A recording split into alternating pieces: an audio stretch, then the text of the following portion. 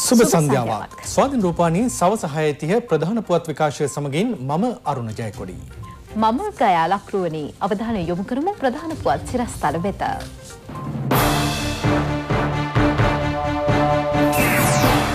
ජන ජීවිතය අඳුරු නොවන්නට රටටම ඇඳිරි නීතිය පැනවේ. කොරෝනා රෝගීන් හැත්තෑවක් වෙද්දී රෝගය මැඩලන්න රටපුරා සෞඛ්‍ය මෙහෙයුම්. ඇඳිරි නීතිය මැද්දෙත් අත්‍යවශ්‍ය සේවා රාජකාරයේ. ඉතාලිය විශාලාවක් වෙයි. චීනයත් අභිබවා මලසිරුරු ගොඩ ගැසේ. නිර්භයාට විනකැටූ ඉන්දියාවේ ඝාතකයන් හතර දෙනා පෝරකයට. දේශීය පුවත්.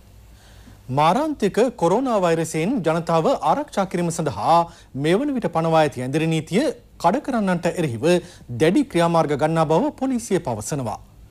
කොරෝනා ආසාධිතයන් සංඛ්‍යාව මේ වන විට හැත්තෑව දක්වා ඉහළ ගොස් තිබෙනවා. පවත්නා තත්ත්වය පිළිබඳව සාකච්ඡා කිරීමට වෛරසය මර්ධනය කිරීම සඳහා රිජුවම සම්බන්ධ වී සිටින රෝහල් අධ්‍යක්ෂවරුන් විසි අතර දෙනෙකු කොළඹට කැඳවා තිබෙනවා.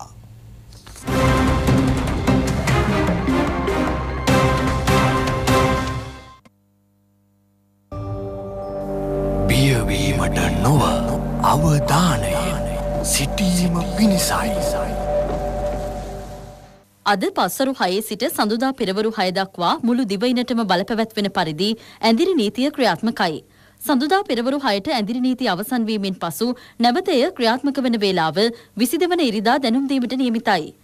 අප විසින් කොතරම් උපදෙස් ලබා දී තිබුණත් ඒ උපදෙස් වලට පටහැනිව කටයුතු කරන ආකාරයක් නිරීක්ෂණය වුණා. නිරෝධායන ක්‍රියාවලියට අනුගත වීම සඳහා සියලුම ආකාරයේ උත්සව, චාරිකා, ඒ වගේම වෙනත් මහජනතාව රැස්වන ස්ථාන මේ සියල්ල අපි තහනම් කර තිබුණා. නමුත් එවන් අවස්ථාවකදී දඹුල්ල ප්‍රදේශයේ පාපැදි සවාරියක් පැවැත්වුණු බවට වාර්තා වුණා. මේ නිසා මේ සම්බන්ධයෙන් පොලිසිය විමර්ශනය කර දඹුල්ල නගරාධිපතිවරයා සහ තවත් පුද්ගලයෙක් අද දින අත්අඩංගුවට ගනු ලැබුවා. රාගම රෝහලට එක්තරා රෝගියෙකු ඇතුළත් වී තිබෙනවා දැනට දින කීපයකට පෙර. දැන් මෙම රෝගියා හෘදයාබාධයකට ඇතුළත් වූ බවටයි වාර්තා වෙන්නේ. නමුත් ඔහු දැනගෙන හිටියා ඔහුට මේ රෝගයේ රෝග ලක්ෂණ යම් ආකාරයකට තිබෙන බව. නමුත් චේතනාන්විතවම ඔහු හෘද රෝගයකට ප්‍රතිකාර ගැනීමට යයි පවසමින් සාමාන්‍ය වාට්ටුවකට ඇතුළත් වුණා. දැන් අද මේ වන විට එහි ඇතිවී තිබෙන තත්ත්වය ඉතාම කනගාටුදායකයි ඔහුට ප්‍රතිකාර කළ වෛද්‍යවරුන් වාට්ටුවේ කාර්ය මණ්ඩලය ඒ අසල සිටි රෝගීන් මේ සියලු දෙනාම නිරෝධායන ක්‍රියාවලියට ලක් වෙනවා. මෙය ද්වේෂ සහගතව කරපු ක්‍රියාවක්. ඔහු ප්‍රතිකාර ලබනවා. කෙසේ වෙතත් අද දිනේදී ඔහුට එරෙහිව වත්තල මහිත්‍රාත් අධිකරණයට අපි නඩුවක් ඉදිරිපත් කරනු ලැබුවා. ඒ වගේම ඔහු සහ ඔහුට අනුබල දුන් අයටත් ඒ වගේම අනිත් පුද්ගලයින්ටත් එරෙහිව අපි නීතිය ක්‍රියාත්මක කරනු ලබනවා. ඒ වගේම දැන් මෙම ඇඳිරි නීති කාලය තුළ අපි ඉතා දැඩිව නීතිය ක්‍රියාත්මක කිරීමට බලාපොරොත්තු වෙනවා. මාර්ගයේ ගමන් කිරීමෙන් වලකින එක විතරක් නෙමෙයි අපි බලාපොරොත්තු වෙන්නේ. නිවෙස්වල වැසියන් එකිනෙකා හමු නොවී සිටිය යුතුයි. තමන්ගේ නිවස තුළම සිටිය යුතුයි. මේ සටනට හැම කෙනාම හදවතින්ම දායකත්වය ලබා දෙන්න ඕනේ. ඇඳිරි නීතිය පැනවුවද සෞඛ්‍ය ප්‍රවාහන හා ආරක්ෂකයන අංශවල නියුතු අයට සිය රාජකාරී සිදුකරගෙන යාමට අවශ්‍ය පහසුකම් රජය සලසා ඇති බව අමාත්‍ය රමේෂ් පතිරණ මහතා පවසනවා. මේ රටේ ජනතාවට අප ලබා දෙන පණිවිඩය තමයි මෙම රෝගය සීග්‍රයෙන් පැතිරියාම් වළක්වා ගැනීම පිණිස රජය අවශ්‍ය සියලුම කටයුතු සෞඛ්‍යංශවල මැදිහත් වීමෙන් ඒ වගේම රටේ ආරක්ෂාව පිළිබඳව හමුදා සහ පොලිසිය මැදිහත් වීමෙන් සිදු කර තිබෙනවා. ඇඳිරි නීති තත්ත්වයන් යටතේදී සෞඛ්‍ය සේවාවට සම්බන්ධ, ඒ වගේම ප්‍රවාහන සේවාවට සම්බන්ධ, ආරක්ෂක අංශවලට සම්බන්ධ පිරිස් වලට අදාළ රාජකාරිවල නිරත වෙන්නට අවශ්‍ය නිදහස සහ අවශ්‍ය පහසුකම් සලසන්නට රජය කටයුතු කරනවා. දිනපතා එක්වන කොරෝනා රෝගීන්ගේ සංඛ්‍යාව මේ වන විට ඉහළ යමින් පවතිනවා.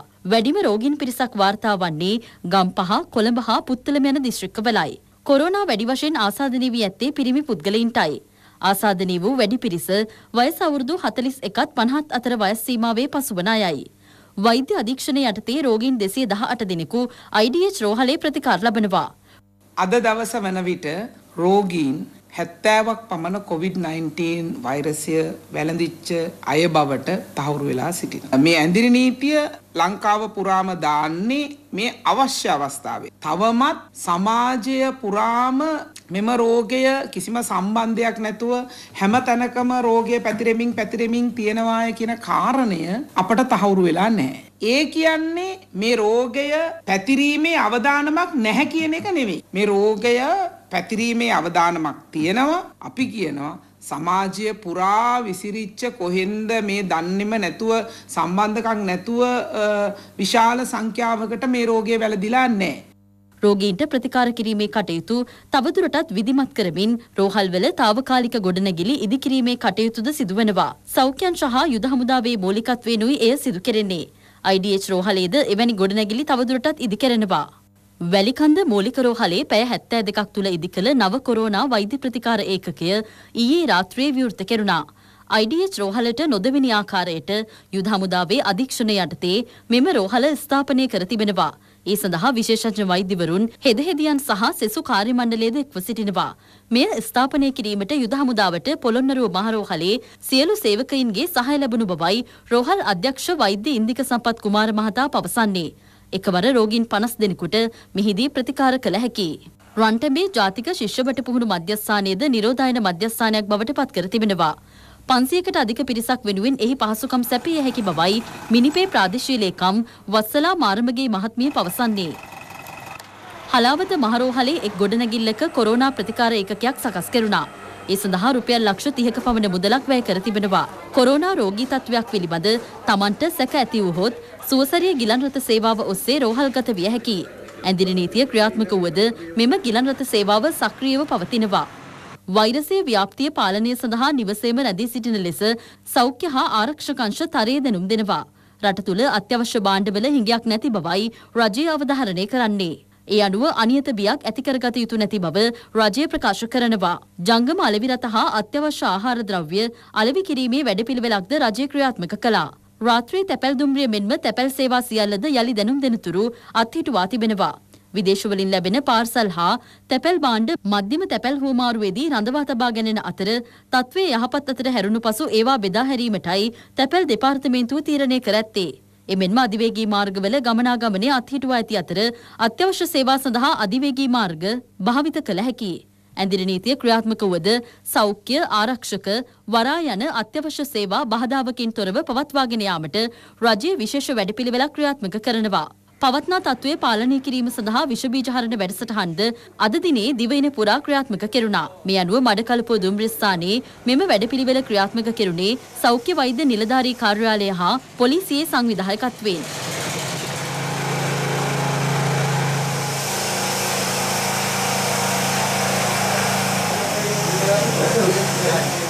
එමෙන්ම ගාල්ල බස්නවතුම්පල හා දුම්රිස්ථානයේදීද විෂබීජහරණය කිරීමේ වැඩසටහන් ක්‍රියාත්මක කෙරුණා. ඊට අමාත්‍ය වෛද්‍ය රමේෂ් පතිරණ මහතා දෙක් වුණා.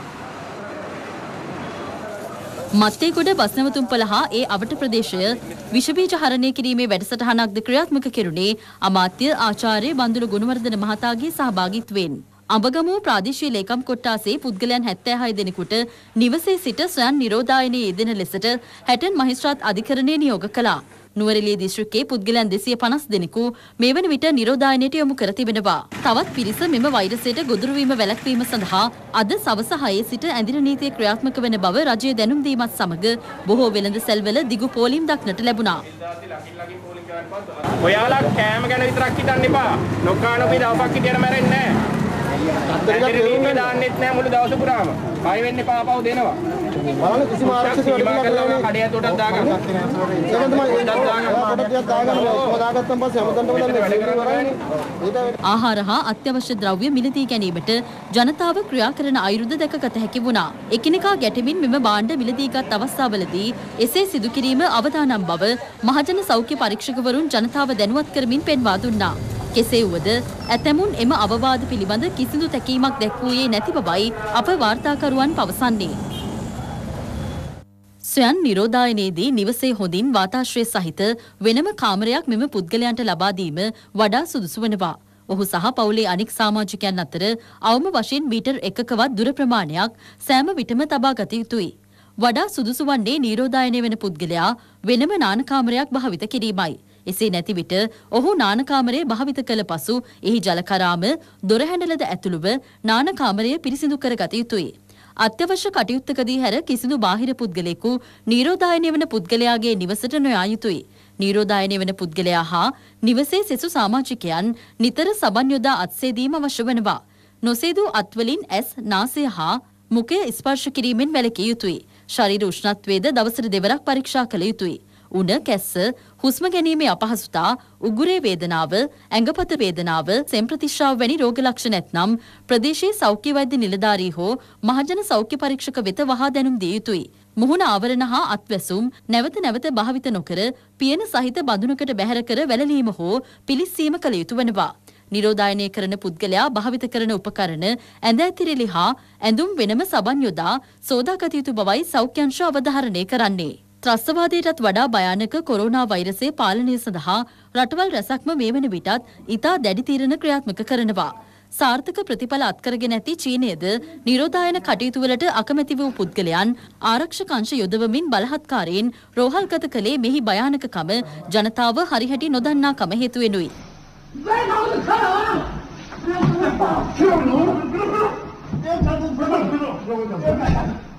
එවැනි ක්‍රියාමාර්ගවල ප්‍රතිඵල මේ වන විට චීනය අත්විදිනවා. ප්‍රංශයේ මේ වන විට ජනතාවට ගමන් කිරීම සඳහා අවස්ථාව සලසා දී ඇත්තේ ඔසුසල් හා ආහාර ද්‍රව්‍ය අලෙවි කරන ස්ථානවලට පමණයි. වෙනත් ස්ථානවලට ගමන් කළහොත් යුරෝ එකසිය තිස්පහක දඩයක් අය කෙරෙනවා. එය දල වශයෙන් රුපියල් විසිහත් දහසකට අධික මුදලක්. ප්‍රංශයේ පුද්ගලයෙකුට අත්‍යවශ්‍යම හේතුවක් මත වෙනත් ස්ථානයකට ගමන් කිරීමට සිදුවහොත් ඒ සඳහා නියමිත පෝරමය පුරවා අවසර ලබාගත යුතු වනවා. ඉතාලියේ කොරෝනා මරණ සංඛ්‍යාව ශීඝ්‍රයෙන් වැඩි වෙමින් පවතිනවා. එසේ මිය යන කිසිවෙකුගේ හෝ සිරුරු ඥාතීන්ට බාරදීමක් සිදුවන්නේ නැති අතර සමූහ ලෙස අවසන් කටයුතු සිදු කරනවා. වෛරසයේ ව්‍යාප්තිය පාලනය කිරීම සඳහායි මෙවැනි නීති එම රටවල ක්‍රියාත්මක වන්නේ.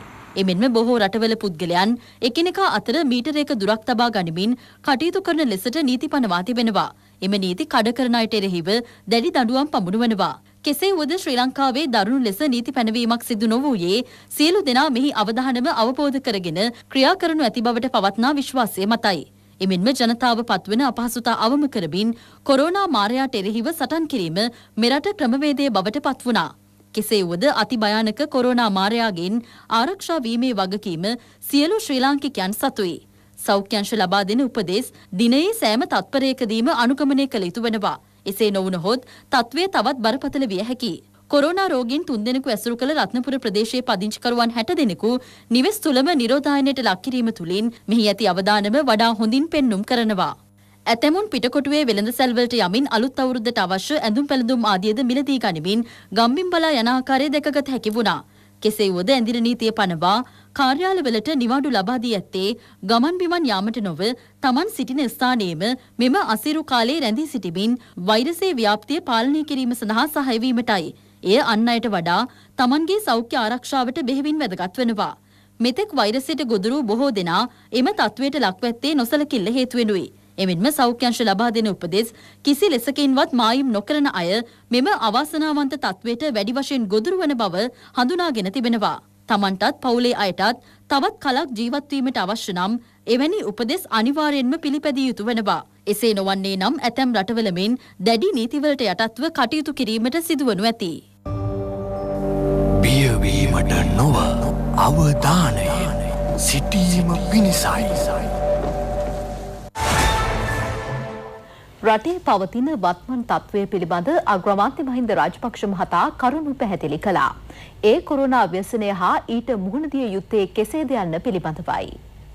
ආයිබෝන් අතිපූජනීය මහා සංඝරත්නයන් අවසර සෙසු ආගමික පූජකුතුමනි මිත්‍රවරුනි ආදරණීය දුවදරුවනි මුළු ලෝකයේම කොරෝනා වසංගතයට මුහුණ දී සිටින මොහොතක් මේ තත්ත්වය පාලනය කර ගැනීමට ගත හැකි සියලු පියවර ගෙන තිබෙන බව ඔබ දන්නවා ඇති.